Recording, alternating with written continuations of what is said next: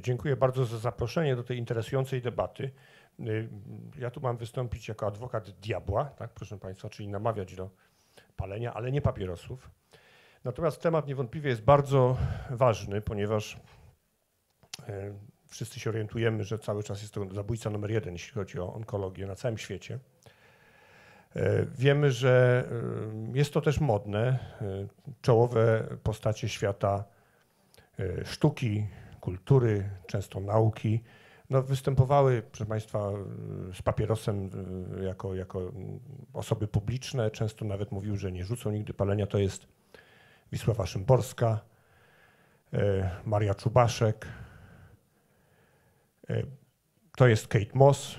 Dlaczego Kate Moss? No, proszę Państwa, w Polsce mm, około 40% uczniów szkół ponadgimnazjalnych pali papierosy. To jest tragedia. Śmiertelność u kobiet z powodu raka płuca rośnie. U mężczyzn się zatrzymała. Mimo bardzo agresywnych e, etykiet, mimo kampanii społecznych, mimo wprowadzenia wielu ograniczeń nie widzimy na, razie jakiegoś zdecydowanego spadku, jeśli chodzi o palenie papierosów. E, ja e, się bardzo ucieszyłem, że mówiąc o tym, e, też dużo się nauczyłem. Znalazłem między innymi jak gdyby materiały FDA, które w tej chwili promują właśnie dwa podejścia, które mają na celu, proszę Państwa, zmienić ten, ten krajobraz. To jest cytat E, z osoby, która jest odpowiedzialna za tą politykę anty, antypapierosową. E, proszę Państwa, to jest jedyny e, produkt legalny, który zabija 50% użytkowników. Taka jest prawda. Jedyny legalny narkotyk. Nikotyna jest narkotykiem z listy WHO. Na świecie mm, ta przedwczesna śmierć dotyczy, według estymacji tutaj doktora Gottlieba, 5,6 miliona ludzi. Także trzeba sobie z tym jakoś poradzić. Jakie, mamy, jakie tu mamy możliwości? No oczywiście najlepiej było, żeby nikt nie palił. Tak? Są, takie, e, są takie pomysły, ale one są chyba utopią. Więc FDA przyjęło e, jakby dwa kierunki. E, po pierwsze, zmniejszenie ilości nikotyny w tych legalnych produktach, co spowoduje mniejsze uzależnienie. Po drugie, dla tych, którzy nie, nie mogą rzucić palenia, przestawianie tych ludzi na produkty alternatywne. I myślę, że to jest droga, o której powinniśmy mówić, dlatego że no to jest też temat tabu wśród onkologów. Wielu kolegów jest bardzo radykalnych i mówi, nie, no, rzucamy palenie, ale nie będziemy namawiać do papierosów elektronicznych, nie będziemy namawiać do tych papierosów, które nie spalają tytoniu, tylko go podgrzewają, no bo to nie tędy droga. Ale musimy wiedzieć, jakie są fakty i to jest cel tego mojego wystąpienia.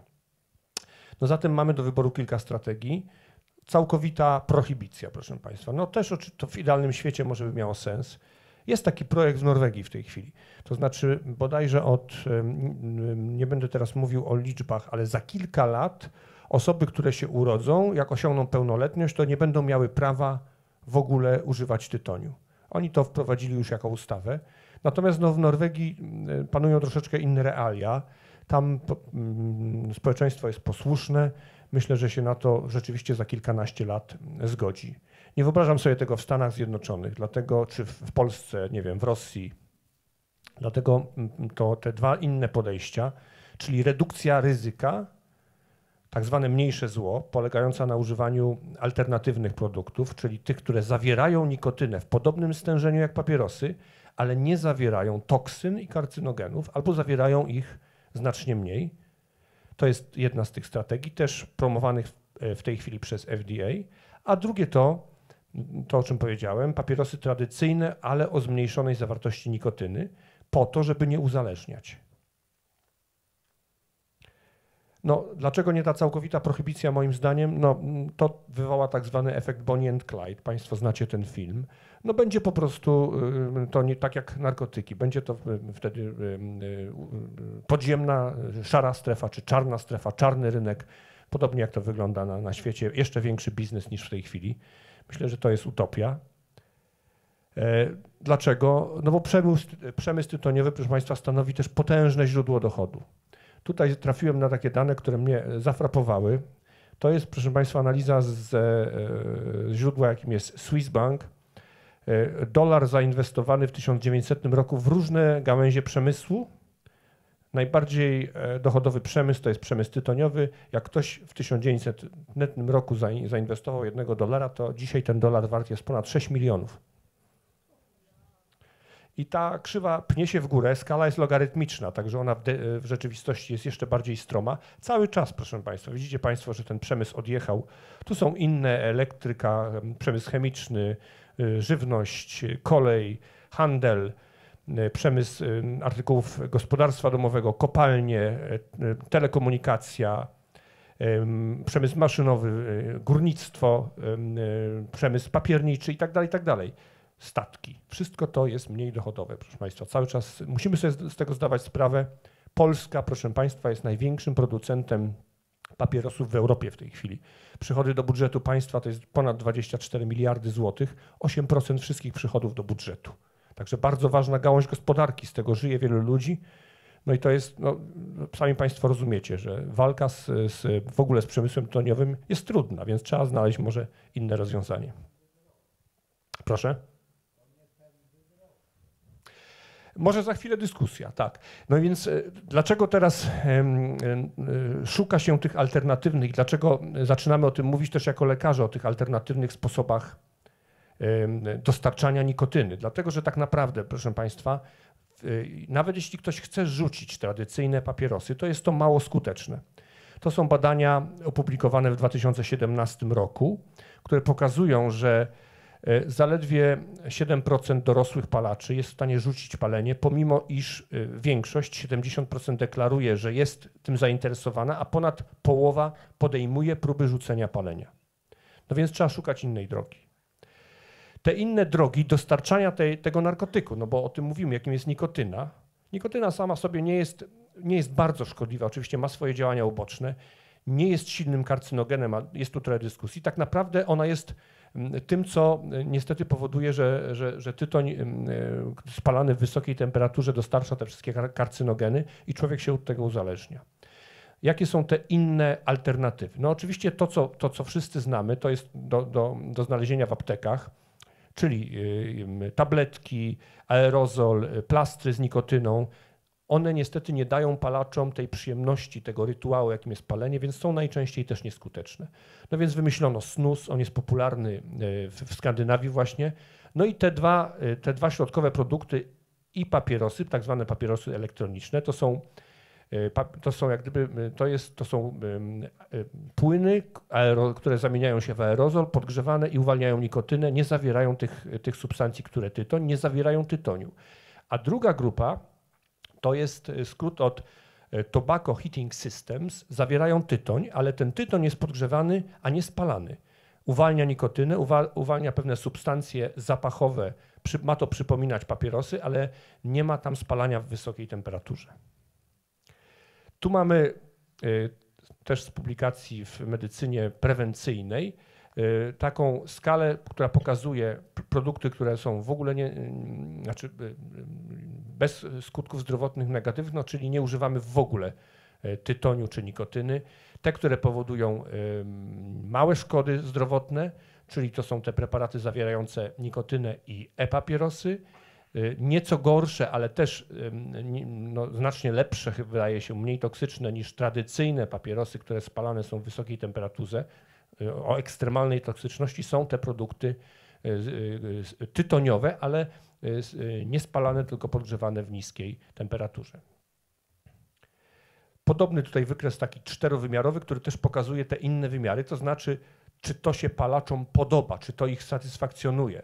W tą stronę rośnie satysfakcja palaczy, w tą stronę rośnie w górę uzależnienie, a w, prawo rośnie toksyczność i, i ten y, śmiercionośny potencjał tych produktów. I tu widzicie Państwo, tu są papierosy tradycyjne, Tutaj tak zwany sweet spot, czyli autorzy tego artykułu proponują, że to jest optymalne rozwiązanie, czyli te produkty, które dostarczają nikotynę lub y, y, y, tytoń czy podgrzewany w temperaturach, która nie powoduje spalania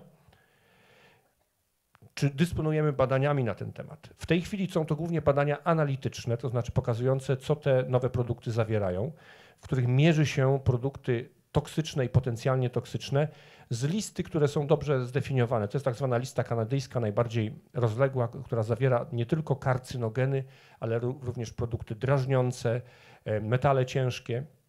Tu macie Państwo taki właśnie system podgrzewania tytoniu, który, czyli tak zwany tobacco heating system, który uwalnia nikotynę, te substancje aromatyczne i mniej więcej, średnio, nie wnikając w szczegóły, to zawiera tych środków toksycznych i potencjalnie toksycznych substancji znacznie mniej, także uważa się, że ta redukcja w zakresie analitycznym tych wszystkich substancji jest około 90%.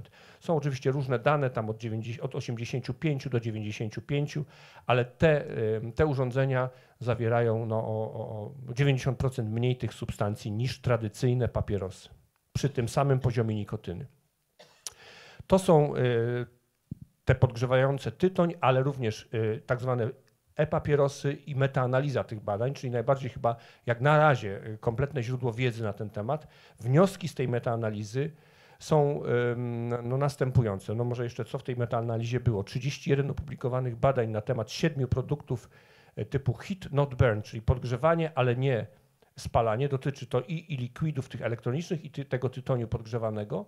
11 tych badań było niezależnych od przemysłu tytoniowego, 20 tych badań było sponsorowanych przez przemysł tytoniowy. Ważne jest to, że wnioski są zbliżone, zbieżne. No, nie należy tutaj podejrzewać przemysłu o jakąś zmowę. Te badania wydaje się, że były wykonane e, e, no, rzetelnie, tak jak wynikało z tej metaanalizy. Pięć badań było randomizowanych, ale nie oceniały one odległych skutków zdrowotnych oczywiście, tylko oceniały właśnie mm, pewne pośrednie efekty.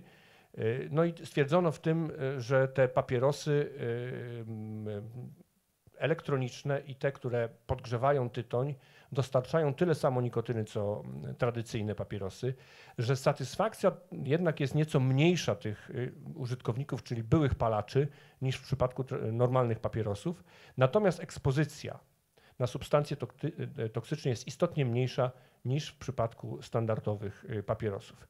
Co, y, to wszystko znalazło już odbicie w pewnych no, bardzo poważnych y, gremiach. Tu mamy na przykład stanowisko Izby Gmin brytyjskiego parlamentu na temat właśnie papierosów elektronicznych. Konkluzje są takie, proszę Państwa, że e-papierosy są o 95% mniej toksyczne niż tradycyjne, a palacze bierni są bezpieczni że ostatnio wprowadzone, bo one są od niedawna wprowadzone, te produkty, które podgrzewają, nie spalają tytoniu, y, zawierają 90% mniej substancji toksycznych oraz, że y, y, palacze powinni być oczywiście zawsze zachęcani do całkowitego zaprzestania jakiegokolwiek palenia, ale jeżeli to niemożliwe, powinni używać mniej toksycznych produktów, o których tutaj mówimy.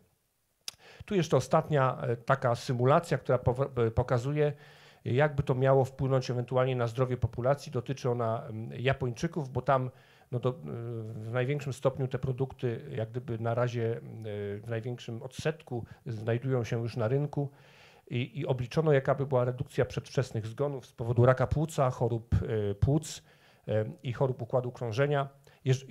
Jeżeli byśmy teraz założyli, że wszyscy nagle przestają palić cokolwiek, to udałoby się uratować 270 tysięcy ludzi Natomiast jeżeli wprowadzimy te produkty papierosopodobne, papierosozastępcze, to y, udałoby się, w zależności oczywiście od y, przyjęcia tam pewnych progów, y, na ile one są mniej toksyczne i zależności między ilością substancji, a na przykład karcynogenezą, o, udałoby się uratować od 170 do 230 tysięcy ludzi. Jeżeli wszyscy palacze by się nagle przestawili na te produkty Y, podgrzewające tytoń, a nie spalające go. No i scenariusz pośredni, który jest oparty na tym, co tam w tej chwili się dzieje. E, y, jeżeli ten trend przechodzenia na te produkty tobacco heating system utrzymałby się i przeszłoby na ten system 40, 47% palących w tej chwili, to po, po, po 10 latach uratowano by 65 do 85 tysięcy Japończyków. No i to tyle. Ja dziękuję bardzo.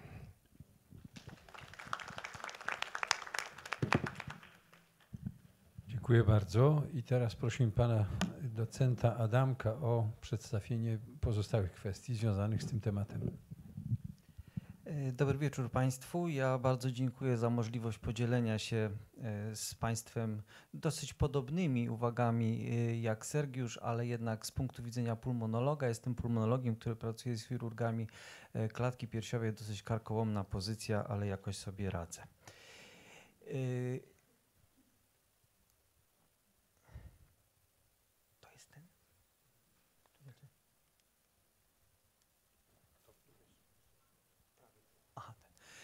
no tutaj oczywiście dosyć, dosyć brutalne porównanie, ale chyba, y, chyba prawdziwe.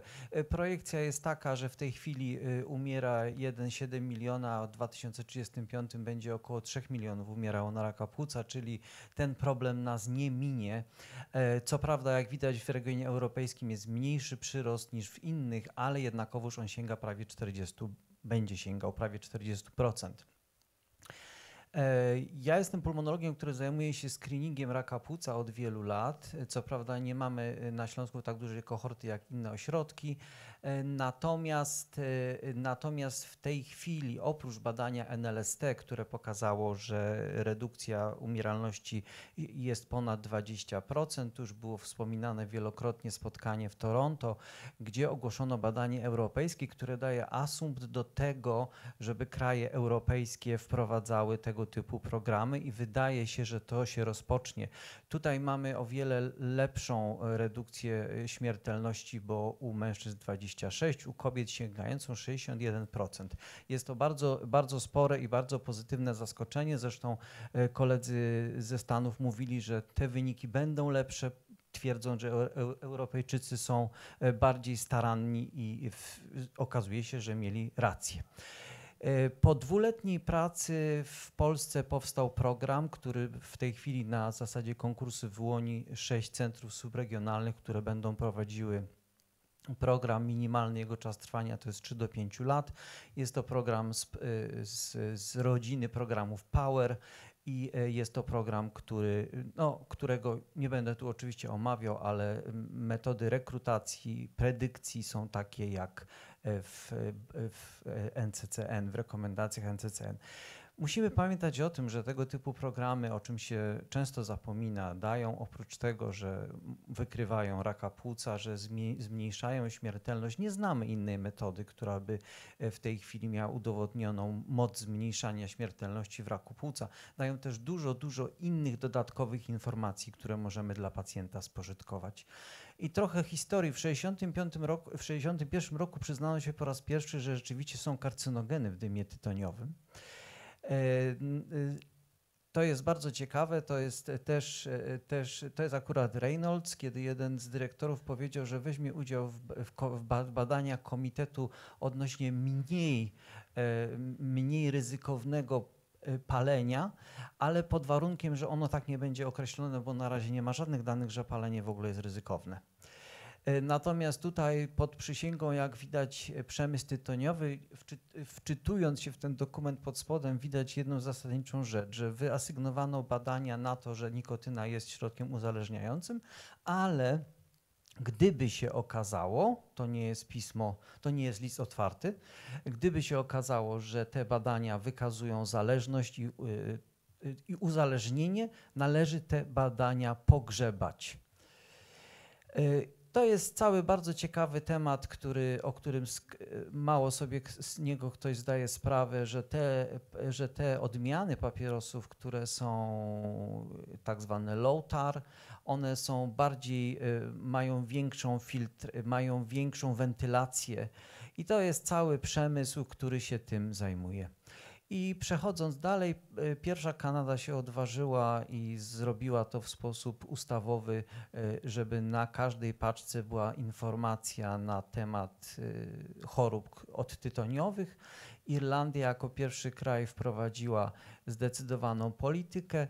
Brazylia zakazała rozróżnienia pomiędzy papierosami a papierosami typu light i mild. E, natomiast Australia wprowadziła jako pierwsza tak zwany plain packaging, gdzie właściwie oprócz drastycznych obrazków nie może być niczego, co by sugerowało, że tam są papierosy i, i że to jest ładnie opakowany produkt. On nie może być ładnie opakowany. I to, o czym mówił pan profesor, w tej chwili do tego przechodzę, wybór jest bardzo duży. Ogólnie rzecz biorąc, e, ponieważ ja z tymi pacjentami pracuję na co dzień, e, można zaryzykować stwierdzenie, że przejście do produktów, które z jednej strony deponują e, nikotynę w ośrodku nagrody w inny sposób niż tytoń, jest korzystne. Dlatego też, o czym tutaj było mówione, e, tak jesteśmy skonstruowani, że do ośrodka nagrody ten, ta nikotyna musi dotrzeć bardzo szybko, czyli od razu ze 100 metrów kwadratowych, czyli naszej powierzchni oddechowej, bezpośrednio do lewego przedsionka, do lewej komory i prosto do, do, do, do ośrodka nagrody i wtedy noradrenalina, serotonina i dopamina są uwalniane i to jest, ten, to jest to miłe uczucie, które każdy palacz ma. Stąd też środki typu gumy, lozędże, e, aerozole, systemy TTS nie działają w ten sposób, bo nie działają tak szybko i nie działają tą drogą, którą działa papieros. Oczywiście są tacy, którzy potępiają w czambu tak samo e, e-papierosy jak, jak wszystko inne.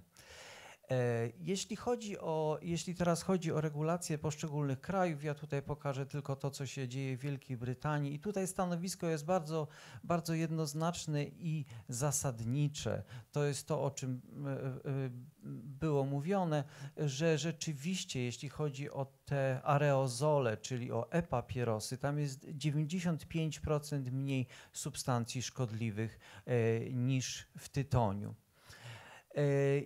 Stanowisko natomiast mm, brytyjskie y, y, y, zdrowia publicznego, Instytucji Zajmującej Zdrowiem Publicznym jest takie, że nie może to być środek, który jest e, w pewnym sensie mm, e, podawany do rozważenia, że jeśli chcesz palić, rozpocząć, chcesz rozpocząć palić, to od tego możesz zacząć, to jest bezpieczne. Nie tylko wtedy i tylko dla tych palaczy, którzy próbowali rzucić, nie uzyskali sukcesu. Jest to środek pomocowy, który ma być stosowany czasowo. To jest to ograniczenie, które, które większość instytucji narzuca.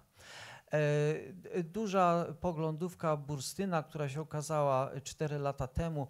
Oczywiście w tych e, e-papierosach jest mnóstwo różnych substancji, aldehydów, toluenu, benzenu, akroleiny. Bardzo ciekawy jest ten wniosek, niestety go nie widać, ale ja go tutaj przepisałem. E, jaki jest wniosek? A mianowicie taki, że Oczywiście mamy bez TSNA, to są nitrozoaminy, które pochodzą od tytoniu i węglowodory aromatyczne.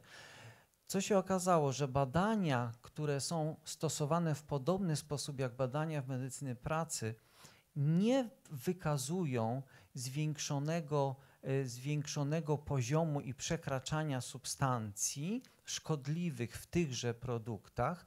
Jednak jeśli dodamy do tego substancje i składniki, które są deklarowane, że tam są, to taki pacjent wymaga, tu jest pewna furtka bezpieczeństwa, taki pacjent wymaga wzmożonego nadzoru medycznego. Taki jest wniosek z tego, z tego, bardzo, z tego bardzo dużego artykułu przeglądowego i, i to jest powiedzmy stanowisko, które jest mm, mm, uznane, przynajmniej w Wielkiej Brytanii.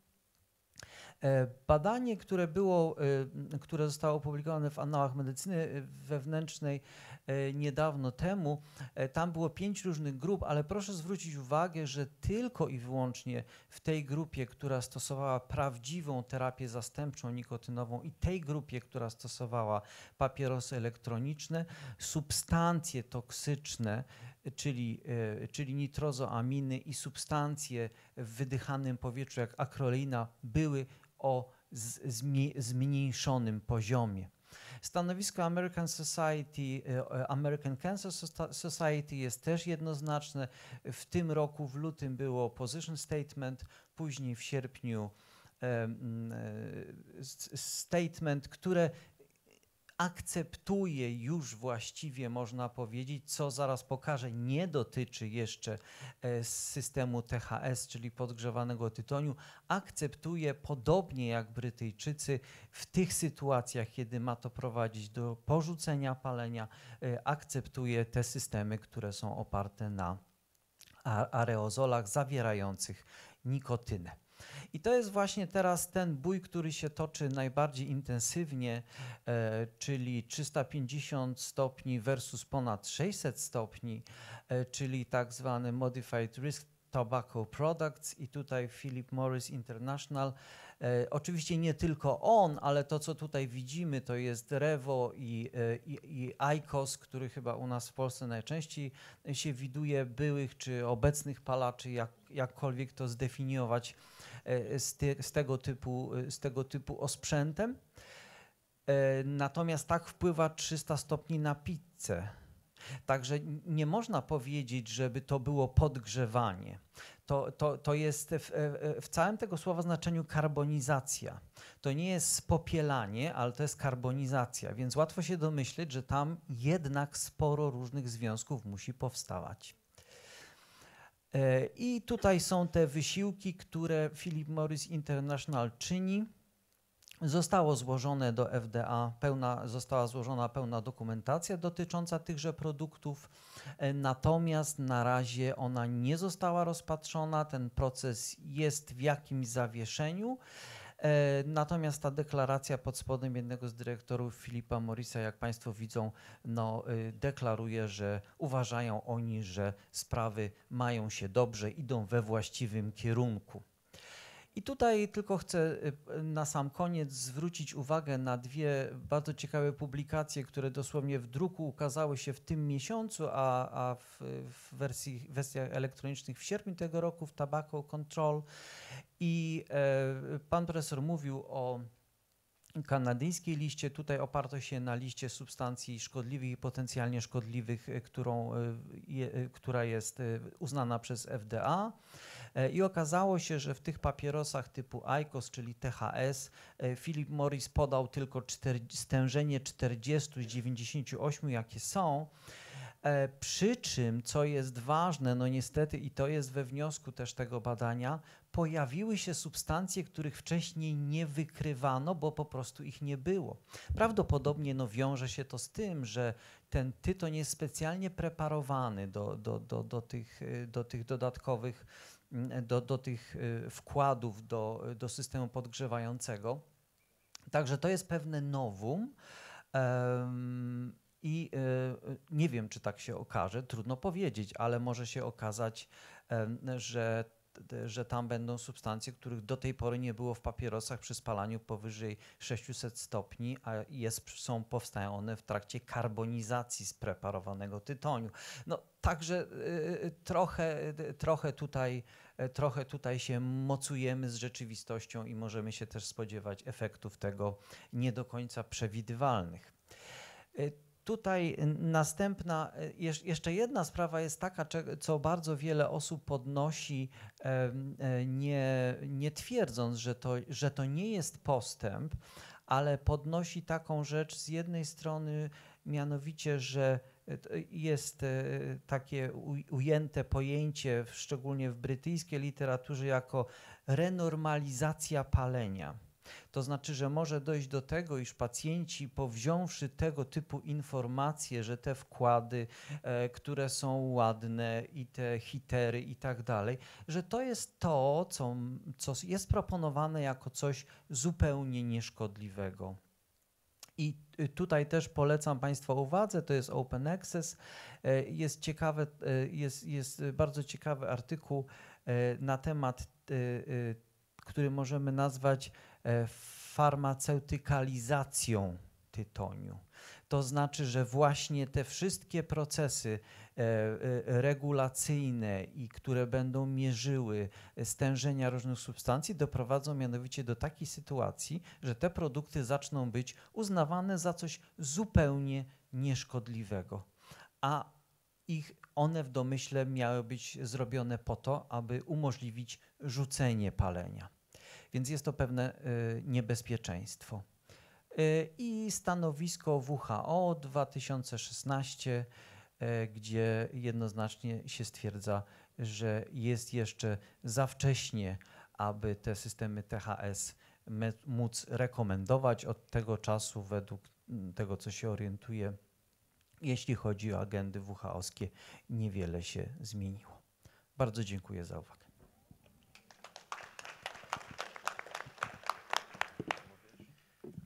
Ja jeszcze y, dziękuję bardzo za wykład, bardzo interesujący.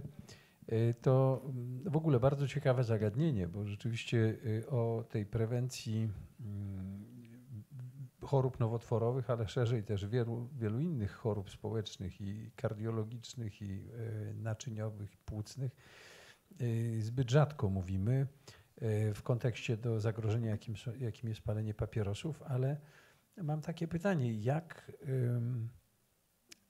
kto powinien informować y, osoby palące o tym, że istnieją alternatywne formy które, y, dostarczania nikotyny, które związane są z mniejszym ryzykiem, mm, a o których nie ma wystarczającej informacji, bo de facto y, działanie Unii Europejskiej jest troszeczkę niezrozumiałe dlatego że wydany jest dekret, że na wyrobach tego typu, związanych z mniejszym ryzykiem niż to wiąże się z paleniem tytoniu, nie można umieszczać jakiejkolwiek informacji o mniejszym zagrożeniu niż y, wynika to z palenia tytoniu. E, to wydaje się, że nie jest dobre rozwiązanie w kontekście y, nowych badań klinicznych, które tutaj panowie przywoływaliście, jeśli chodzi o zdrowie publiczne. Jak zatem taka informacja powinna docierać, jak, jak, powinna być dostarczana do, do, do, potencjalnych odbiorców, czyli do osób, które mają kłopot z zaprzestaniem palenia tytoniu.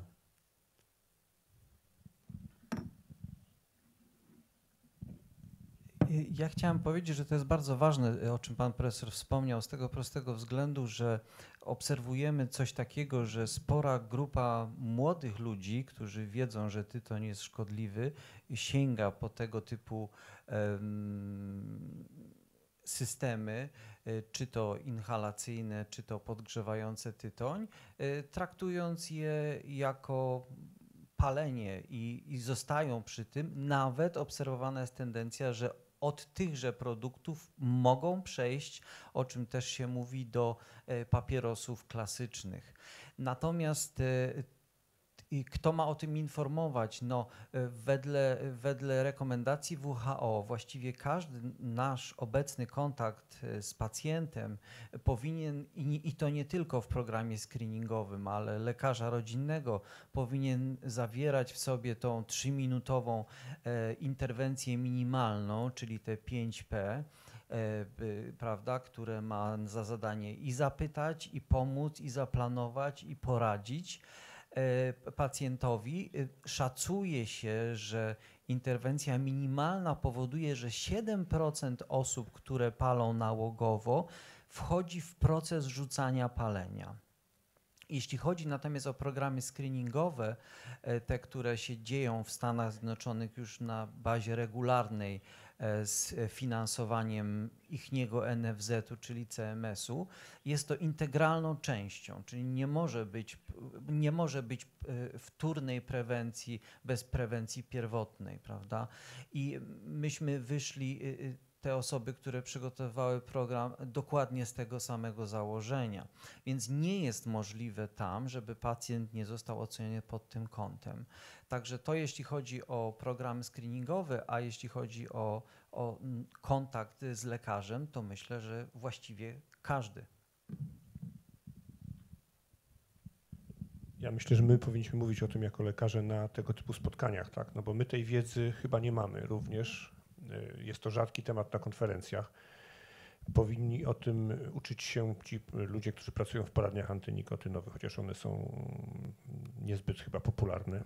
No i przede wszystkim trzeba by rozważyć, w jaki sposób y, przekazać tą informację no, palaczom tytoniu, których y, spotykamy na co dzień, czyli chorym na raka, tak? No bo to jest ważne. Przecież ci ludzie też, jeżeli zostali, szczególnie jeżeli zostali wyleczeni z choroby nowotworowej, to mają ogromne ryzyko zachorowania powtórnie, które jest y, no, wielokrotnie większe, jeżeli kontynuują palenie. To jest grupa, która też jest ważna i też często myślę, że takim ludziom taką rzetelną informację trzeba przekazać.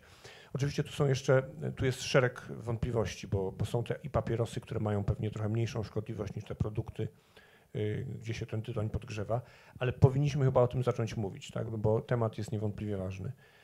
E, pytanie, co z ludźmi, którzy na przykład palą papierosy z przemytu, bo to o tym się też nie mówi. Tutaj w tym województwie Państwo wiecie, że jest więcej raka płuca e, niż na Śląsku na przykład. Ja, ja pracuję, pracowałem na Śląsku ostatnio, przedtem pracowałem tu, teraz znowu tu wracam.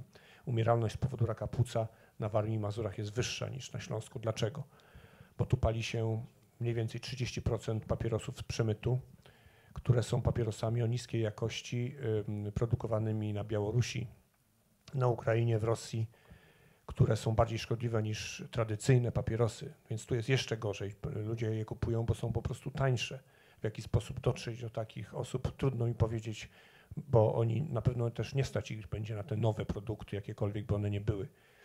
E, więc jest to na pewno temat rzeka, który, o który powinniśmy odczarować, powinniśmy o tym mówić. Nie jest to łatwe, bo sami się tego uczymy dopiero. Jeszcze do roli lekarzy chciałbym wrócić na chwilę, ale odnośnie takich instytucjonalnych rozwiązań, wydaje się, że ciekawą taką inicjatywą było wprowadzenie y, odrębnej kategorii dla tych wyrobów o e, mniejszym zagrożeniu, jeśli chodzi o, o dostarczanie nikotyny e, osobom uzależnionym. Stany Zjednoczone wprowadziły tę kategorię nazwaną Modified Risk Tobacco Products.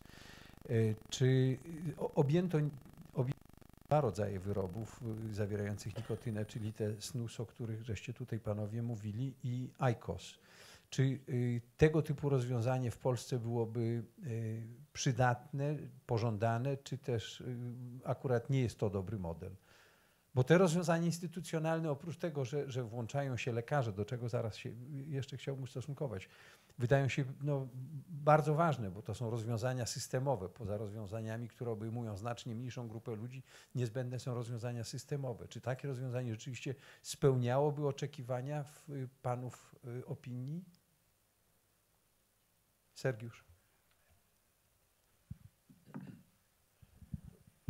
Ja myślę, że mm, to jest ten kierunek, który przyjęło FDA. Tak? On tak, jest bardziej tak, odważny niż y, na przykład to, to podejście brytyjskie. No z tego wynikają tak. pewne przywileje, prawda? Tak, tych, y, no, no, zresztą nawet ta, ta koncepcja, o której tu dzisiaj nie mówiliśmy, jeszcze inna o tym, że oni będą redukować zawartość nikotyny poniżej progu uzależnienia to też jest oczywiście ciekawa koncepcja.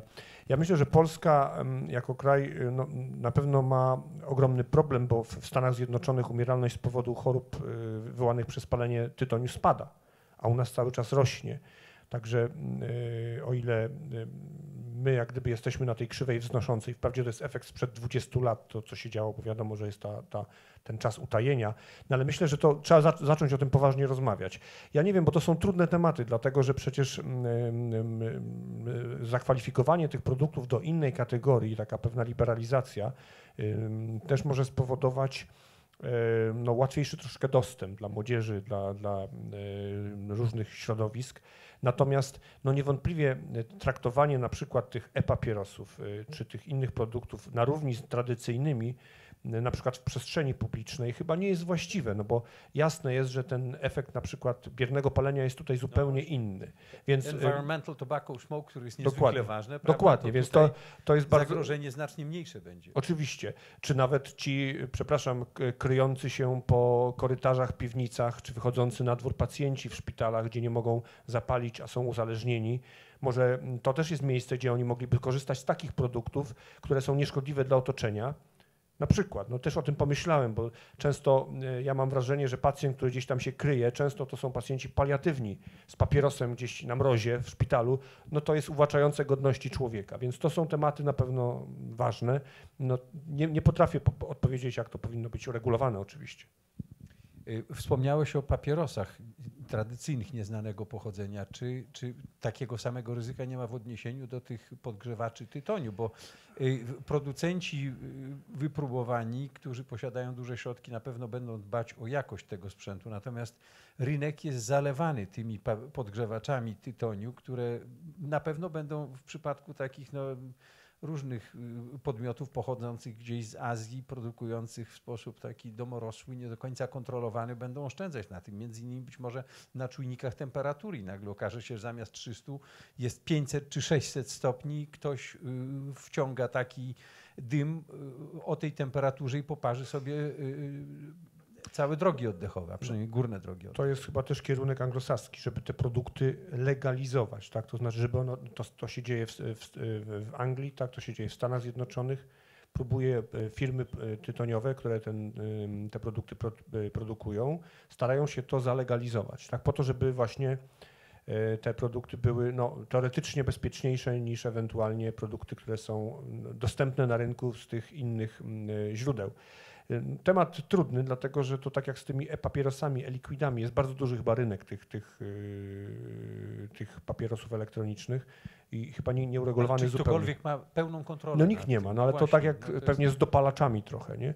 Myślę, że uregulowanie tego i dopuszczenie do jakiejś standaryzacji ma sens, y, na pewno, dlatego że spowodowałoby to no, ograniczenie tych produktów, które będą gdzieś pomiędzy tymi, które są badane w tych różnych analitycznych badaniach, na co mogą sobie pozwolić bogate koncerny i tych zupełnie z, z szarej strefy, czy z, y, produkowanych w zupełnie innych warunkach, Pokątnie, prawda? tak, gdzie nie wiemy tak naprawdę, jakie, jaki, jest, y, jaka jest ich, y, jaki jest ich skład, jaka jest szkodliwość. No właśnie.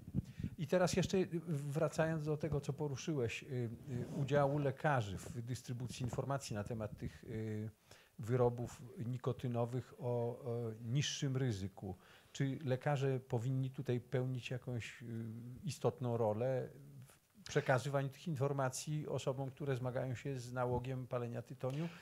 I jeżeli tak, to skąd powinni czerpać rzetelną wiedzę na, na temat tych produktów?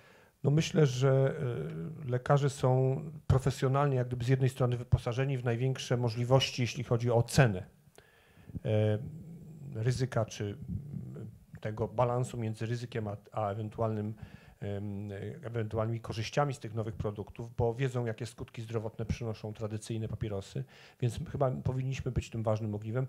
Natomiast no, trzeba się edukować, tak? Powinniśmy być w sposób oczywiście racjonalny, y, no, mówić o tym i chyba, chyba tego rodzaju właśnie debata, która jest tutaj, jest tego dobrym przykładem, tak? no bo tego brakuje. Na konferencjach onkologicznych nie mówimy o tym. Na tych dużych y, się odbywają raczej, y, ale, ale to są też bardzo na razie rzadkie wydarzenia i, i w małym zakresie. Myślę, że powinniśmy po Tym prostu... bardziej trzeba się cieszyć z tego, że tutaj taka Tak jest, tak jest. dyskusja została zaaranżowana. Pan docent Adam. Ja chciałem tylko dodać, że z punktu widzenia pulmonologa, jeśli ktoś ma konsumpcji 30, 40 albo więcej paczkolat, a takich pacjentów jest sporo, to z dużą dozą prawdopodobieństwa można powiedzieć, że jeśli lekarz rodzinny tylko o to zapyta i uzyska taką informację, to nie dywagując specjalnie o tym, o czym tutaj jest mowa, może, może powiedzieć jednoznacznie, że proszę spróbować papierosa elektronicznego, bo to jest zupełnie nieporównywalne z tym ładunkiem 3000 substancji, z tego kilkadziesiąt kan, y, kancerogennych, prawda? E, Jest to, jest to na pewno dla tak. y, Problem się zaczyna wtedy, kiedy to robią ludzie młodzi i idą w drugim kierunku, ale jeśli to są zatwardziali nałogowi palacze i oni by przeszli, a ja miałem takich pacjentów, którzy palili 60 papierosów dziennie. I w momencie, kiedy oni przejdą na e-papierosa, uważam, że to jest olbrzymi sukces. Jakby na to nie spojrzeć i nawet nie tylko z punktu widzenia raka płuca. Więc y, tutaj y, myślę, że ta dyskusja jest zero-jedynkowa, jeśli weźmiemy tą, y, tą część populacji i tu nie trzeba się wdawać w jakieś specjalne analizy. Nie wiem, czy się No, pod warunkiem, że nikt nie oskarży lekarza o korupcję i dostarczanie klientów firmom produkującym e-papierosy, prawda? Bo tak też się może No, zdarzyć. no, Więc tak, ale czy, czy nie powinno być to nałożone na lekarza jako pe, pewien, pewnego rodzaju obowiązek, na przykład na lekarzy rodzinnych, pewnego rodzaju obowiązek przekazywania tego typu wiedzy? Dobrze, to dziękuję bardzo. Oczywiście wszystkich kwestii nie rozstrzygniemy. Y, Kończymy. A no właśnie, może jakieś głosy z sali. Czy Państwo jesteście. Odgłosy zmęczenia. Jakie są odgłosy poza odgłosami zmęczenia? Czy po tym przekazie naszych kolegów, czy Państwo poczuwacie się w obowiązku, że powinniście to, co usłyszeliście, w jakiś sposób zagrożonym pacjentom bądź rodzinom informować o jakiejś innej alternatywie niż tylko zaprzestanie palenia tytoniu, co Sergiusz powiedział, szansa jest na to 7%. Jakie jest Państwa zdanie?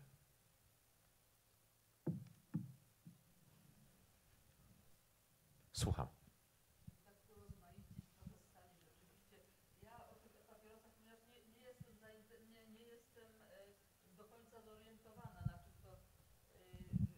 Kulawińska, jestem lekarzem pierwszego kontaktu generalnie, trochę w paliatywie pracuję.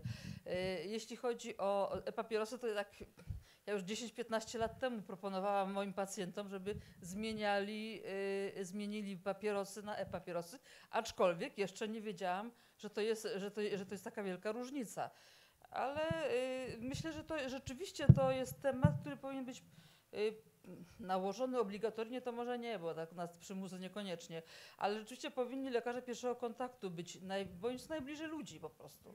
Oni powinni mieć, y, no rzeczywiście ułożone w głowie, że trzeba y, informować tę minutę, no już nie trzy minuty, minutkę czasu poświęcić palaczom. Znamy swoich pacjentów palących. Żeby po prostu im powiedzieć, żeby spróbowali coś innego, a spróbować chociażby.